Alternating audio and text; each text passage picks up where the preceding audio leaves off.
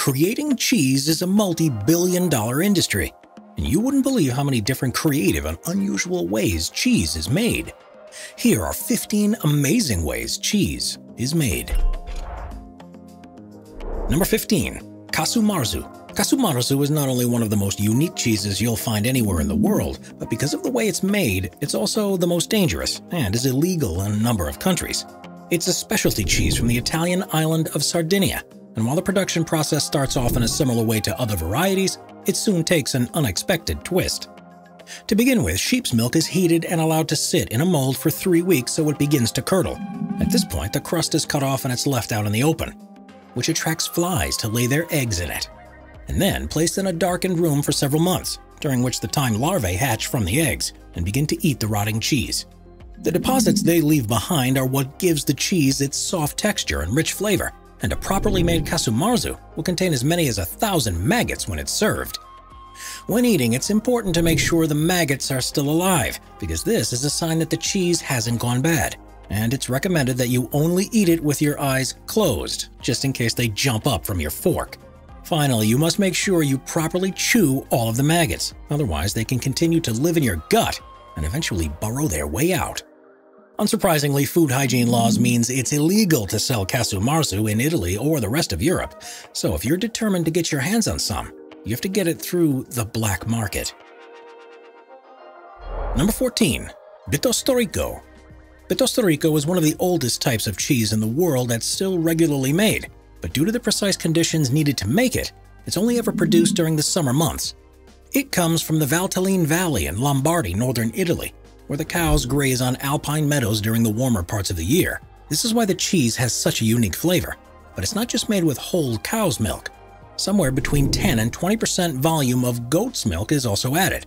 And this means that each wheel of cheese can be aged for 10 years or more, which is far longer than most other techniques. Due to variations in the fat content, however, it's down to the individual dairymen and their experience with the production process to know just how long it needs to be aged to create the best outcome. The final result is a creamy, hard cheese, with each wheel tasting slightly different depending on the grass that the cows were eating that day. It's an integral ingredient to the region's signature dish, pizzoccheri, and it is in such high demand that it often sells out before even reaching store shelves.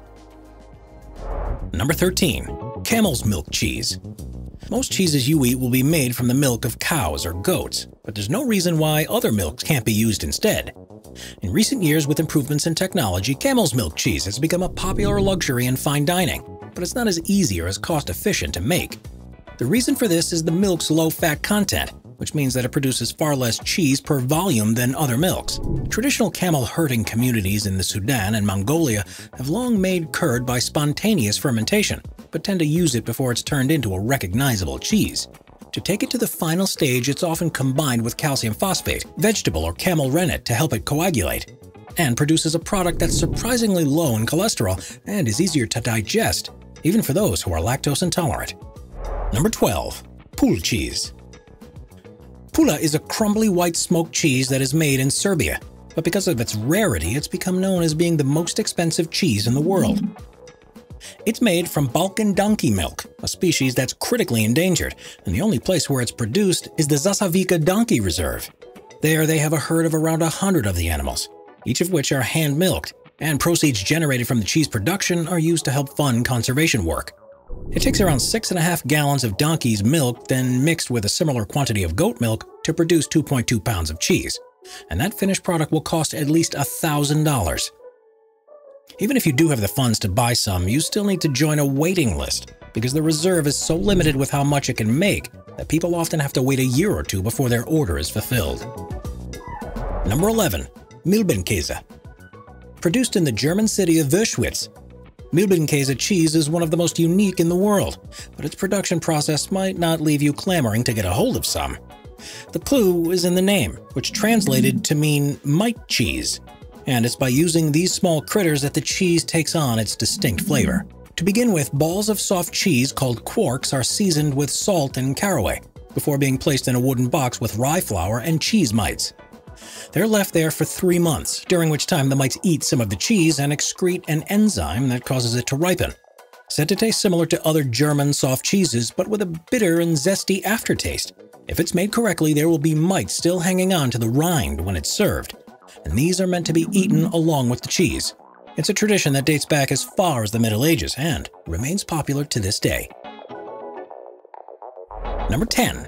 Tome Marc de Raisin Tome Marc de Raisin begins as a traditionally produced tome cheese from the region of Savoy in France. But when it comes to aging, things are done a little differently, for an even richer taste. It's made from cow's milk, but the skimmed liquid that remains after the cream has been removed to make butter and richer cheeses.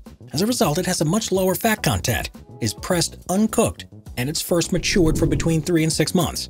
After this, it's further aged under a coating of grape marc, which is the residue that's left over after squeezing fruits in the winemaking process.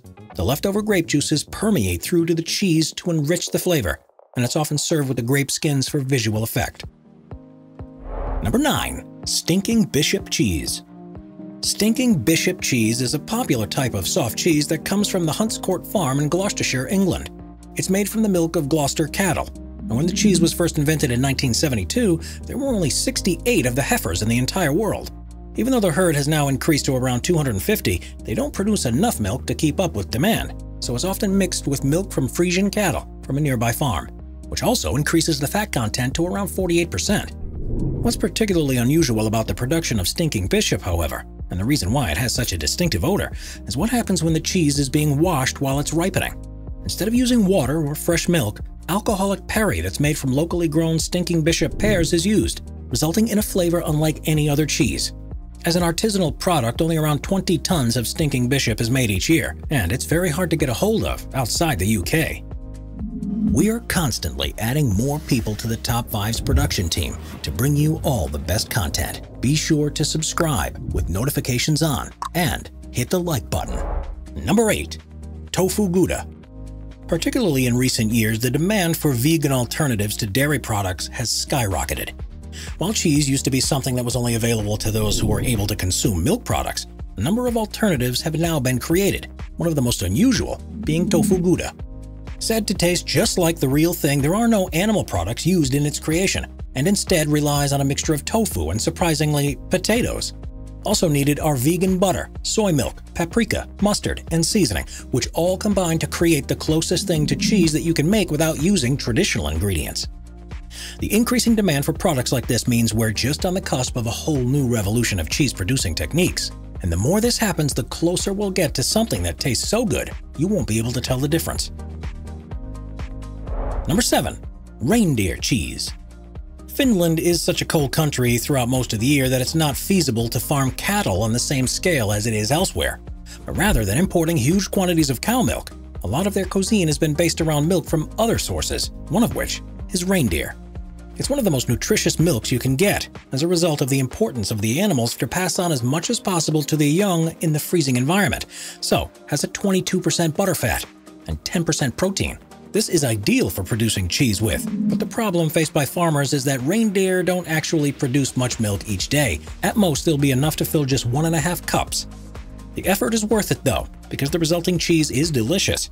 Almost half its weight is made up of fat, and it has the consistency of a cream cheese. It's very creamy and melts in your mouth, but you'll only ever want to eat it in small quantities because of how rich it is. Number 6. Montebore Cheese there's no doubt that cheese has been an integral part of French and Italian culture for hundreds of years, and many of the world's greatest artists have always found comfort and inspiration from the foodstuff. Not tempted by the typical run-of-the-mill cheeses, they often go for something more elaborate, and it's hardly a surprise that Leonardo da Vinci's favorite type, and one of his favorite gifts to give friends who were getting married, was as extravagant and artistic as any of his paintings or sculptures. Known as Montebore, it's made from cows and sheep's milk, but is arranged in three tiers in a similar way to a wedding cake. Thought to have been inspired by the tallest tower in the village of Montebore, it has yeasty and sour flavors and detectable notes of mushrooms and nuts.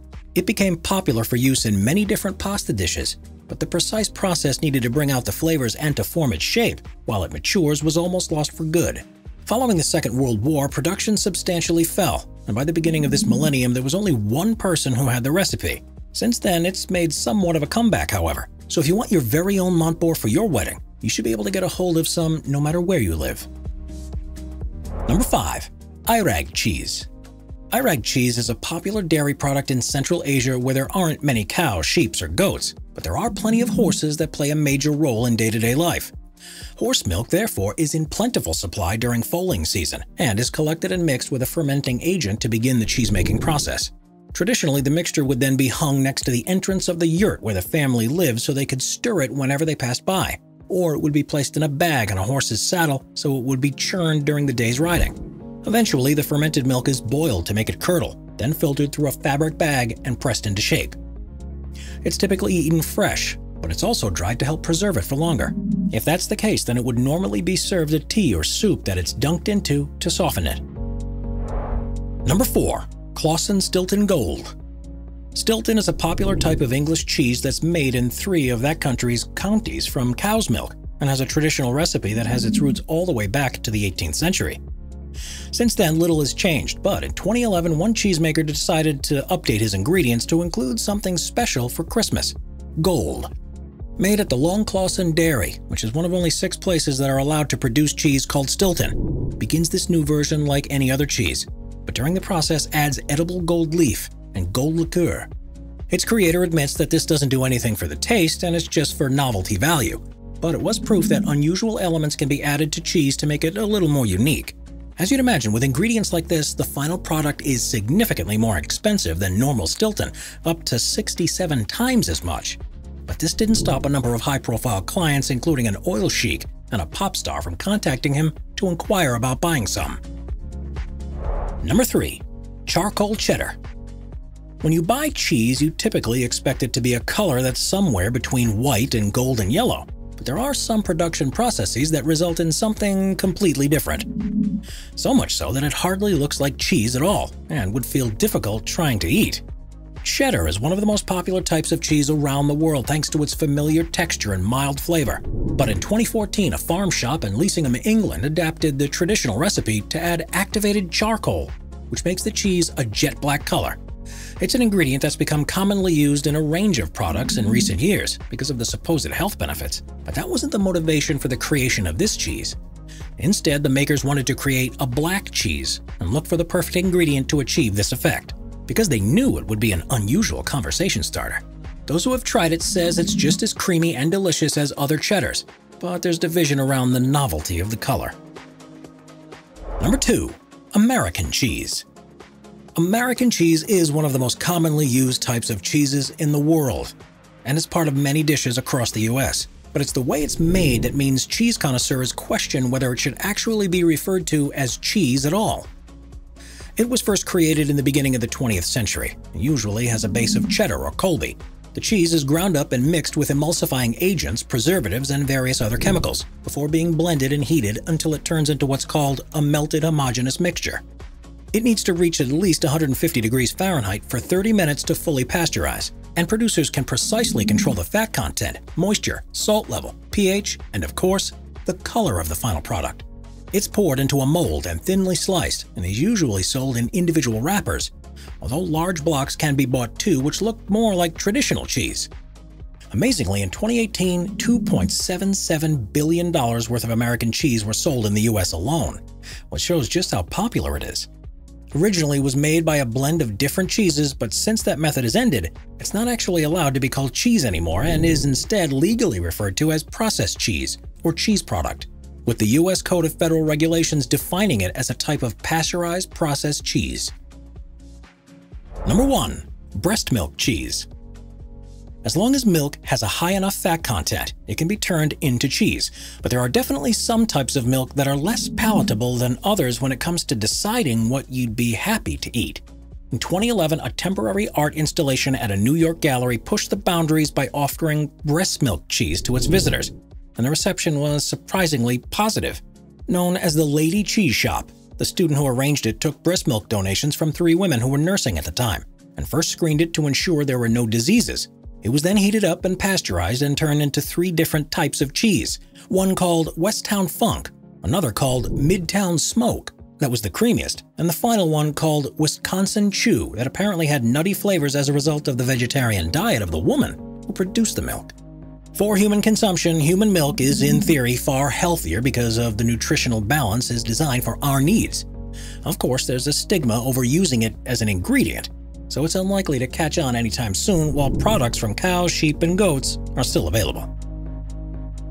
Subscribe to Top Fives for more and check out some of our other popular videos.